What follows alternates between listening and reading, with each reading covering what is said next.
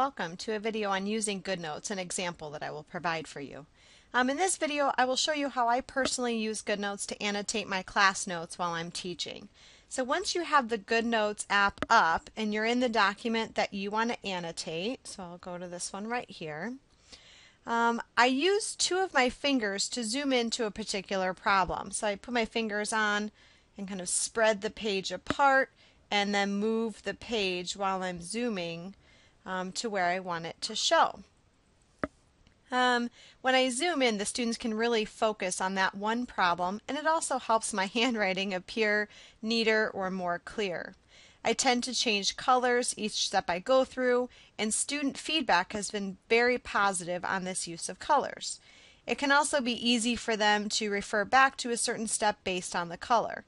Um, I also use a palm rest feature, which is at the bottom. So once you click on the pen, you will notice that this palm rest appears and using this tab at the left you can bring this up or down and this will allow you to rest your hand or palm on the iPad while you're in the writing mode and yet not write in that area.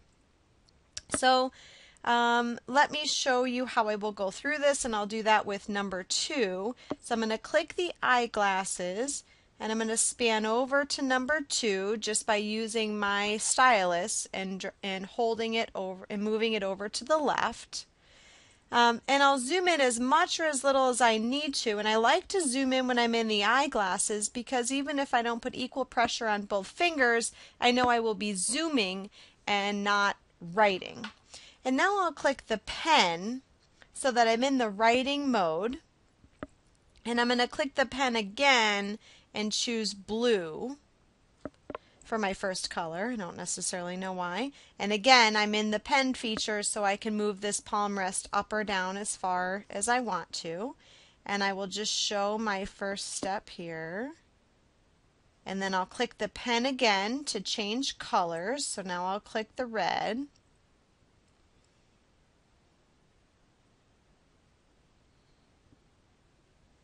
And then I'll click the pen again to go to green and you can kind of get the idea. I'll move my pen rest down. I also tend to zoom and change so that I'm writing in the top of my screen. That's just me personally. I'll click the pen again to change colors. And I'll finish my problem here. And maybe I'll finish in blue. And I usually will box my answer and I will click the highlighter and I'm in a green highlighter because there are other things that were typed in here that had a yellow highlighter. So I'll click the green highlighter when I'm done. When I am done with a problem, it's almost default for me to click the eyeglasses because then I can move the page around or do what I need to do. And if I want to write again, then I usually click the pen again to write.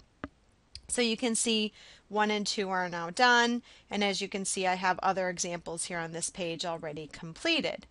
Um, so when this prints, you can kind of tell now that my handwriting is approximately the same size as the text or typed font. So when it is printed, it will look the same. It won't look out of place or anything like that.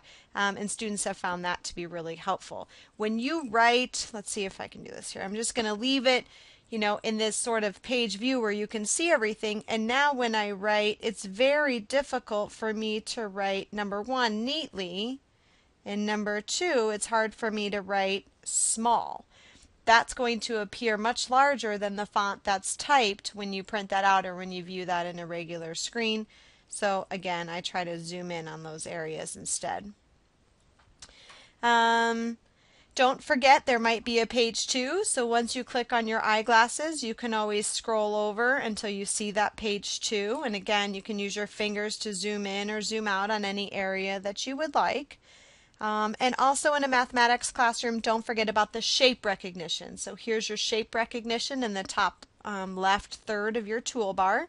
And what that does is, let's say I want to write, so now I'm going to click the pen, a right triangle it will make the triangle a lot neater than my original one was. The only, I guess, issue with this is when you want to go back to regular writing, you need to click that shape recognition again so that you're off of the shape format. Um, When I am done, I normally upload or export this document to the student's website, like WebAssign, MathAS, Canvas, etc., so they can view it and use it accordingly via my Dropbox or SkyDrive account. And there's a whole other video on how to export or upload these documents to your Dropbox, SkyDrive, etc.